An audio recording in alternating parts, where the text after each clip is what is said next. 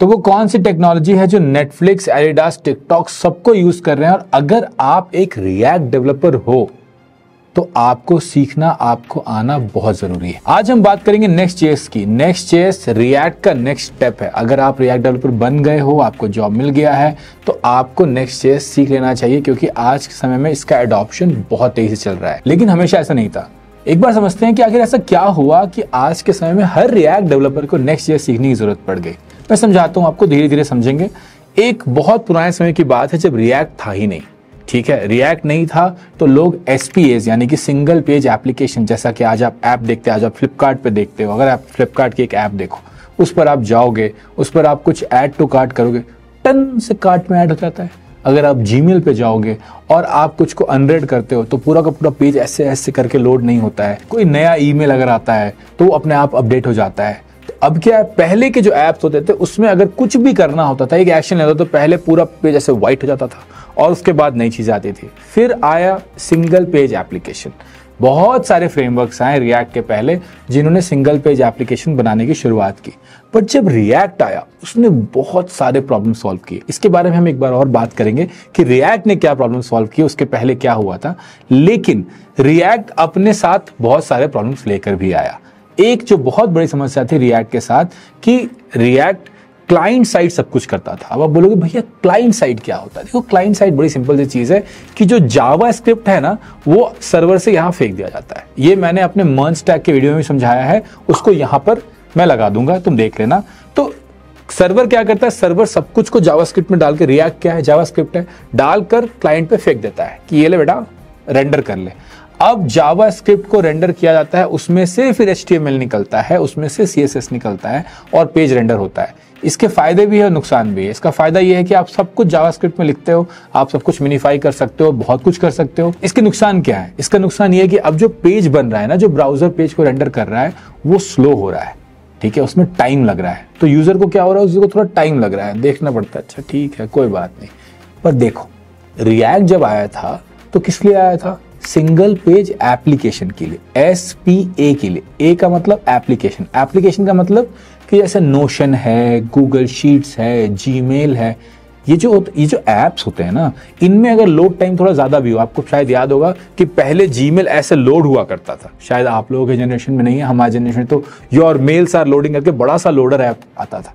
तो कोई दिक्कत नहीं थी, क्योंकि जब आप एक ऐप की बात करते हो तो हमें पता है कि ऐप को खुलने में टाइम लगता है, ऐप को लोड होने में टाइम लगता है। लेकिन लोगों को रिएक्ट बहुत अच्छा लगने लगा, और लोगों ने कहा कि यार सिंगल पेज एप्लीकेशन हम एप्लीकेशन तक ही क्यों सीमित रखें? एक ई कॉमर्स ऐप जैसे कि फ्लिपकार्ट वो भी तो एक सिंगल पेज एप्लीकेशन ही है, वो भी तो एक ऐप है। हम उसके इंटरफेस को भी बेटर क्यों ना करें? बुक माई शो हम उसके इंटरफेस को भी बेटर क्यों ना करें? कोई बैंकिंग ऐप ले लीजिए। हम उसके इंटरफेस को भी बेटर क्यों ना करें? तो हम ऐप की जो सीमा रेखा है ऐप की जो लाइन है, उसको हम थोड़ी और दूर ले जाते हैं और जो भी कंज्यूमर कंज्यूम कर रहा है, उन चीज़ों को भी हम ऐप की तरह ट्रीट करते हैं।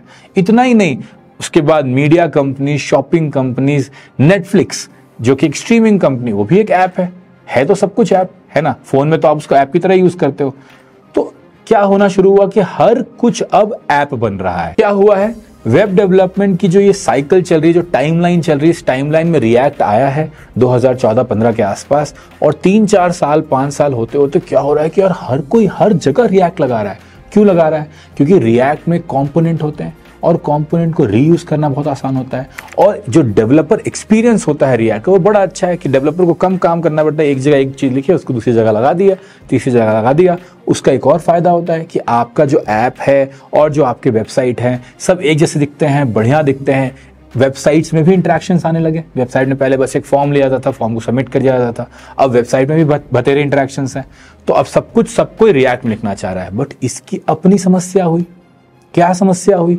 इसकी समस्या ये हुई, जब हम वेबसाइट सोचते हैं तो हम क्या सोचते हैं? कि उसमें स्टैटिक डेटा होगा तो एक बॉट या क्रॉलर जाएगा और उसमें से सब कुछ निकाल के ले आएगा और गूगल को बता देगा। इसी चीज़ को हम एस e कहते हैं, है ना? तो एस e जो है, वो आप नहीं कर पा रहे हो। क्यों नहीं कर पा रहे हो?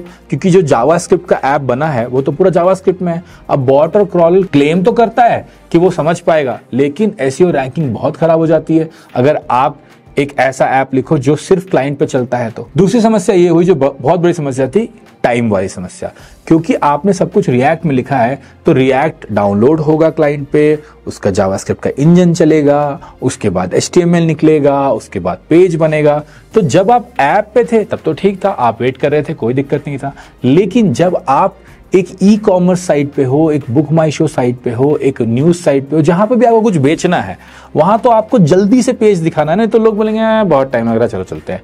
और ये सच बात है ये सच बात है। गूगल का ये रिसर्च है कि काफ़ी ज़्यादा प्रतिशत लोग अगर तीन सेकंड के अंदर साइट नहीं खुलती है तो साइट से चले जाते हैं। तो आपको क्या चाहिए? आपको साइट फास्ट चाहिए। और अगर आपको बेचना है तो आपको एसईओ फ्रेंडली e तो चाहिए ही चाहिए। तो इन दो समस्याओं को सॉल्व करने के लिए नेक्स्ट जीएस आया और नेक्स्ट जीएस ने भी धीरे धीरे ख्याति, यानी कि फ़ेमस हुआ धीरे धीरे उसने भी ख्याति प्राप्त की और बहुत सारे लोग यूज़ करने लगे।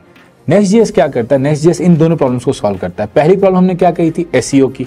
एसईओ की प्रॉब्लम कैसे सॉल्व करता है कि नेक्स्ट जीएस के पास जावास्क्रिप्ट तो है ही।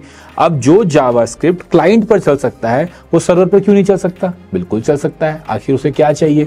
एक जावास्क्रिप्ट इंजन चाहिए। उसे तो यही माँगता है। देखो इसमें बहुत सारे मैंने ऐसे टर्म्स बोले जो शायद तुम्हें समझ में नहीं आए हो, क्योंकि मैंने उन पर अभी वीडियोस नहीं बनाए।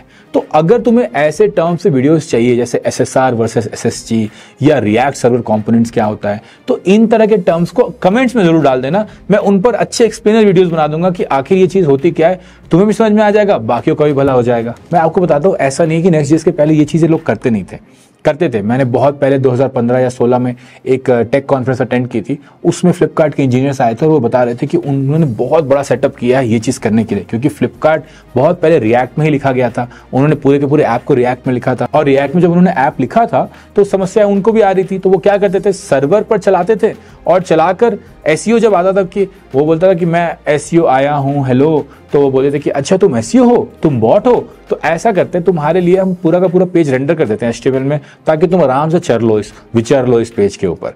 और यही नहीं, जो एक चीज़ और करते थे कि एचटीएमएल को पहले भेजते थे, उसके बाद उसको, उसमें जावास्क्रिप्ट डालते थे तो ऐसी चीज़ें लोग कर रहे थे। ऐसा नहीं है कि यू नो नेक्स्ट जेएस ने कुछ ऐसा बहुत ही मज़ेदार चीज़ कर दिया बट पर नेक्स्ट जेएस ने बहुत अच्छी चीज़ की कि इसको एक फ्रेमवर्क बना डाला। इसको एक प्रॉपर तरीका दे डाला कि भैया देखो, अगर तुम्हें एक रिएक्ट ऐप होस्ट करना है और अगर तुम्हारे लिए एस e और लोड टाइम दोनों चीज़ें इंपॉर्टेंट है। देखो, हर चीज़ के लिए इंपॉर्टेंट नहीं है। जैसे कि नोशन के लिए जब आप प्राइवेटली यूज़ कर रहे हो तो इंपॉर्टेंट नहीं है, लेकिन नोशन पब्लिक पेजेस के लिए इंपॉर्टेंट है। जीमेल के लिए, या जब हम लोग आउटलुक पे थे, मैं आउटलुक पे काम कर रहा था, मैं टीम्स में काम कर रहा था, वहाँ ये बिल्कुल भी इंपॉर्टेंट नहीं, क्योंकि आउटलुक वेब ऐप लोग लोड कर लेते हैं लोड टाइम इंपॉर्टेंट होता है, लेकिन ये ऐसा नहीं कि उसमें एस e चाहिए। मैं नहीं चाहिए, मुझे नहीं चाहिए कि गूगल मेरा ईमेल पढ़े, मुझे नहीं चाहिए कि गूगल मेरे टीम्स के मैसेजेस पढ़ ले। बात समझ रहे हो ना? तो हर जगह ज़रूरी नहीं है, इसलिए हर कोई यूज़ नहीं कर रहा। पर अगर तुम्हारा ऐप ऐसा है आज के टाइम पे जिसमें तुम्हें एस e चाहिए, जिसमें तुम्हें लोड टाइम कम चाहिए, यानी कि तुम उस ऐप से कुछ बेच रहे हो। बुक माई शो एक एग्ज़ाम्पल है फ्लिपकार्ट एक एग्ज़ाम्पल है। क्यों? क्योंकि आपको चाहिए कि भैया ये कपड़े का दाम आपको गूगल बता दे। आपको चाहिए कि इस फ़िल्म की रिव्यू इस मूवी का टिकट का दाम कहाँ लगी है ये आपको गूगल ही बता दे। गूगल भी उसको रट पाए गूगल भी उसे पढ़ पाए और समझ पाए। तो अगर आपको ऐसा चाहिए, तब आपके लिए नेक्स्ट बहुत इंपॉर्टेंट हो जाता है। और अगर आपको यूज़र फ्रेंडलीनेस चाहिए तो रिएक्ट भी इंपॉर्टेंट है, तब तो नेक्स्ट तो काफ़ी इंपॉर्टेंट हो गया आपके लिए। और नेक्स्ट जेस के साथ एक चीज़ और अच्छी हुई, पता क्या? कि उसने ना परफॉर्मेंस को और बेटर कर दिया। सिर्फ़ लोड टाइम ही इंप्रूव नहीं किया, इसके साथ साथ उसने क्या किया? ऑटोमेटिक कोड स्प्लिटिंग कर दी। ये क्या होता है आप बोलोगे? कुछ खास बात नहीं है। देखो, जब आप फ्लिपकार्ट के होम पेज पे जाते हो तो आपको फ्लिपकार्ट का अबाउट अस पेज लाने की कोई ज़रूरत नहीं है। तो वो नहीं लाओ। पर पहले के ऐप्स में, बहुत पहले के ऐप्स में ऐसा होता था कि सारा का सारा बंडल एक साथ बना के आपको क्लाइंट पे फेंक दिया जाता ये चीज़ें अगेन ऐसा नहीं कि नेक्स्ट जेस अकेले कर रहा है, आप अलग से भी कर सकते हो, कर सकते हो, लेकिन आपको अब ये चीज़ें कॉन्फ़िगर करने की ज़रूरत नहीं होती, क्योंकि नेक्स्ट जेस खुद ब खुद इन चीज़ों का ध्यान रख लेता है। एक और बड़ी चीज़ होती है जो मैं आपको बताना चाहता हूँ कि जब आप कोई बड़े ऐप पे काम करते हो तो कोड बहुत बढ़ जाता है, बहुत बढ़ जाता है, बहुत बड़ा होता है। दसों हज़ारों, पचासों हज़ारों, लाखों लाइन का कोड हो जाता है। जैसे टीम्स में था।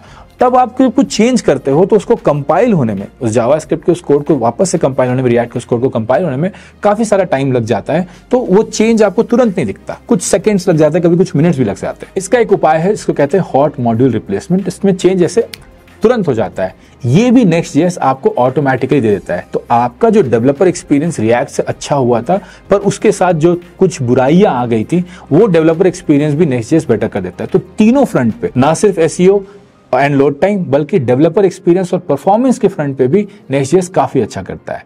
लेकिन नेक्स्ट अपनी कॉन्ट्रोवर्सीज से छूटा नहीं है। नेक्स्ट के साथ बहुत कॉन्ट्रोवर्सीज होती हैं और आज के समय में तो इस पर यह भी इल्ज़ाम लग रहा है। रिएक्ट के जो सर्वर कॉम्पोनेंट्स हैं, वो नेक्स्ट पे चलेंगे और नेक्स्ट ओपन सोर्स तो है, पर वो वर्सल को बहुत फेवर करता है। तो एक तरह से नेक्स्ट जेस ओपन सोर्स होने के बावजूद एक कंपनी को काफ़ी सारा पैसा कमा कर दे रहा है। देखो, इसमें कुछ गलत नहीं है। किसी भी चीज़ में कुछ गलत नहीं होता। लेकिन इन चीज़ों के अराउंड कॉन्ट्रोवर्सीज बहुत ज़्यादा है कि ओपन सोर्स कह के भी ये लोग एक दूसरे को फेवर करते हैं कंपनीज़ पैसा कमाती हैं। बड़े बड़े अच्छे अच्छे डेवलपर्स नेक्स्ट जेस की जो कंपनी है वर्सल वो हायर कर रही है। तो क्या जो ये ओपन सोर्स का ओपननेस है है ना? ये क्या कम हो रहा है क्या? ऐसे भी कई सवाल नेक्स्ट जेस पे उठते आ रहे हैं।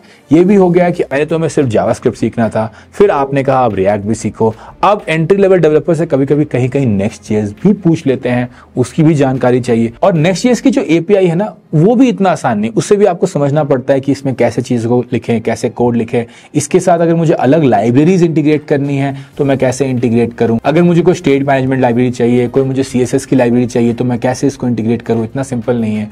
इमेज ऑप्टिमाइजेशन है एसएसआर है एसएसजी है, मैं कौन सा पाथ चुनूं? मैं एस एस आर जाऊँ, मैं एस एस जी जाऊँ? तो देखो, एक जो एंट्री लेवल डेवलपर है, उसके लिए अब और भी सारे डिज़ाइन चॉइसेस और भी नॉलेज चाहिए उसको। तो लोग कहते हैं, यार, ये अब बहुत टफ होता जा रहा है जावा का ये। बट क्या कर सकते हैं? देखो, अगर तुम्हें आता है तो इसके पैसे मिलेंगे।